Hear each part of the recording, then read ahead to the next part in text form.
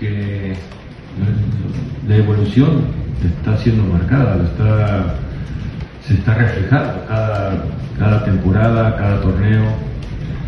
Eh, a nivel de clubes puede ser que todavía eh, llegamos un poco un escalón encima del nivel del, torneo MX con el de la MLS.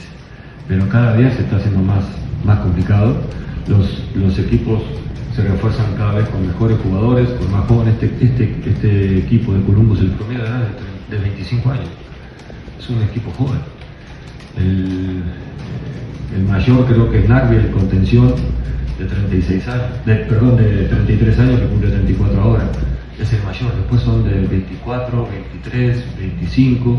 Entonces, ya los equipos eh, se están reforzando no con jugadores que ya están de salida, sino con ya están buscando jugadores de calidad, que sean jóvenes, que tengan eh, vida útil importante todavía en el, club, que puedan estar tiempo para poder eh, trabajar y, tener mejores coordinaciones, tener mejor estabilidad para la institución.